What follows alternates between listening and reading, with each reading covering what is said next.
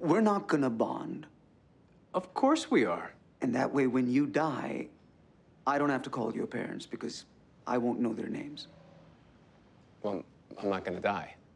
Ever, so. We're spies, Will. Do you know any 60 year old spies? Me neither.